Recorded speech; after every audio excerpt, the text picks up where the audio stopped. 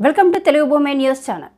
మియాపూర్ నరేన్ గార్డెన్లో జరిగిన Patel youth force ఆత్మీయ సమావేశానికి ముఖ్య అతిథిగా Telangana high court judge justice M Laxman మాట్లాడుతూ యువతి యువకుల్లో వారి చదువులకు తగిన అంశాల్లో నైపుణ్యాలను పెంపొందించి మంచి ఉద్యోగాలు పొందేలా నిపుణులతో శిక్షణను పొందాలని మంచి భవిష్యత్తు కోసం మోటివేషన్ కార్యక్రమాలు నిర్వహించడం చదువుల్లో వెనుకబడిన వారికి అన్ని విధాల ప్రోత్సాహాన్ని ఇవ్వడం వంటి కార్యక్రమాలు నిర్వహించాలని కోరారు. గ్రూప్స్ ప్రిపేర్ అయ్యే యువకులకు ఆర్థికంగా వెనుకబడిన వారికి ఆర్థిక సహాయం అందేలా చూడాలని కోరారు. మరొక ముఖ్య అతిథి రిటైర్డ్ డీఐజీ ఎడ్ల గంగాధర్ ఐపీఎస్ మాట్లాడుతూ యువత సరైన మార్గంలో నడుచుకోవాలని యువత భవిష్యత్తు దేశానికి ఎంతో అవసరమని అన్నారు.